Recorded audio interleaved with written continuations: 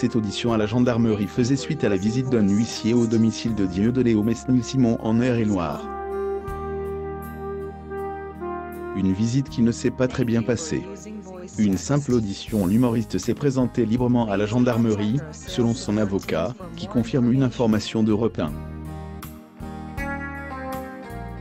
À sa propre demande, il a été entendu sous le régime de la garde à vue, a-t-il ajouté. Selon les enquêteurs, il s'agissait d'une simple audition, qui a commencé peu avant minuit, et s'est terminée avant l'aube. Sa compagne avait, elle, été entendue librement en tant que témoin dans la soirée. L'huissier dépose plainte pour violence selon d'autres sources proches du dossier. Un huissier a été molesté après s'être présenté au domicile de Dieudonné, l'amenant à déposer plainte pour viol.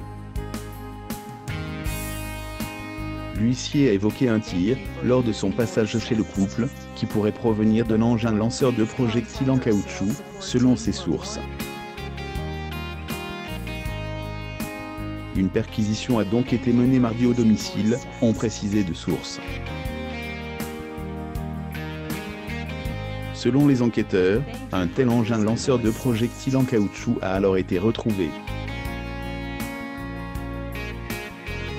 Le couple porte plainte pour intrusion de domicile donné, et sa compagne ont porté plainte pour intrusion de domicile, a indiqué leur avocat maître Mirabeau. D'après lui, un ou des huissiers se sont présentés au domicile du polémiste en Eure-et-Loire dans la soirée pour faire exécuter un jugement sur le paiement d'amende et ont essayé de passer par des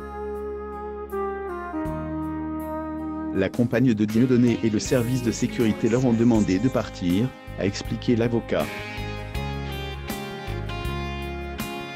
Dieudonné voudrait qu'on le laisse tranquille ou du moins qu'on le traite de façon normale, c'est-à-dire que les huissiers viennent à des heures normales pour lui remettre des plis, a-t-il ajouté. Dieudonné a réglé ses arriérés fiscaux mais pas ses amendes en novembre 2013. Dieudonné a réglé 666 620 euros d'arriérés d'impôts, selon le Parisien. Cette somme, inférieure aux 887 135 euros initialement réclamés par le Trésor public, correspond à la totalité des impôts dus par l'artiste après négociation sur les pénalités avait précisé le par. Le ministre du Budget, Bernard Cazeneuve a précisé début janvier que la plupart des sommes dues étaient réglées. Elles le seront jusqu'au dernier euro dû. Nous mobiliserons tous les moyens de notre administration pour ce faire et ceux des autres administrations compétentes qui sont susceptibles de venir en application. Mais suite à neuf condamnations pour propos antisémites, l'humoriste doit toujours au Trésor public plus de 60 000 euros d'amende.